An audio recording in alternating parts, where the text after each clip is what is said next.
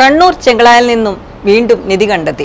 കഴിഞ്ഞ ദിവസം നിധി കണ്ടെത്തിയ ചെങ്ങളായിലെ പരിപ്പായിൽ നിന്നുമാണ് വീണ്ടും സ്വർണമുത്തും വെള്ളി നാണയങ്ങളും കണ്ടെത്തിയത്. തൊഴിലുറപ്പ് തൊഴിലാളികൾക്കാണ് രണ്ട് സ്വർണമുത്തും നാല് വെള്ളി നാണയങ്ങളും ലഭിച്ചത്. കഴിഞ്ഞ വ്യാഴാഴ്ച വൈകുന്നേരം മഴക്കുഴി എടുക്കുന്നതിനിടെയാണ് നിധികുമ്പം ലഭിച്ചത്. ഇവ പോലീസ് കോടതിയിൽ ഹാജരാക്കി. സ്വർണ ലോക്കറ്റുകൾ പതക്കങ്ങൾ മോതിരങ്ങൾ എന്നിവയാണ് പാത്രത്തിലുണ്ടായിരുന്നത്. ചെങ്ങളായി പഞ്ചായത്തിലെ പരിപ്പായി സർക്കാർ എൽ പി സ്കൂളിന്റെ അടുത്തുള്ള സ്വകാര്യ ഭൂമിയിൽ പണിയെടുക്കവെയാണ് ഇവ ലഭിച്ചത്. തൊഴിലുറപ്പ് തൊഴിലാളികൾ മഴക്കുഴി എടുക്കുന്നതിനിടെയാണ് ഇവ കണ്ടെത്തിയത്. നാണയങ്ങളിൽ അറബിയിൽ അക്കങ്ങളും അക്ഷരങ്ങളും എഴുതിയിട്ടുണ്ടെന്ന് തൊഴിലാളികൾ പറഞ്ഞു.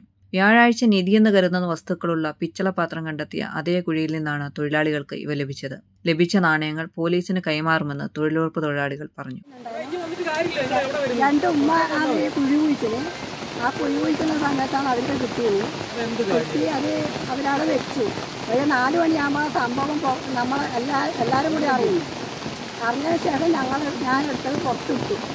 എല്ലാം പുറത്താക്കി അത് കാണിച്ച് നോക്കുമ്പോഴത്തേക്കിന് മണ്ണൽ നീക്കി നോക്കുമ്പോഴത്തേക്ക് അതിന്റെ അകത്ത് സ്വർണം കാണുമ്പോൾ കുറേ നാണയം കണ്ടു എല്ലാവരും കൂടെ അത് കഴുകി വൃത്തിയാക്കി എടുത്ത്. അതെന്നാ ചെയ്യേണ്ടത് ഞങ്ങൾക്ക് ഒരു തിരുപാടില്ല.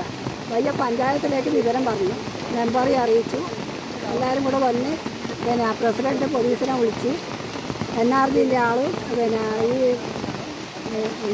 പോലീസും എല്ലാം കൂടെ വന്ന് പതിനാറ് തൊഴിലാളികളാണ് ആ സമയം മഴക്കുഴി നിർമ്മാണത്തിൽ ഉണ്ടായിരുന്നത്.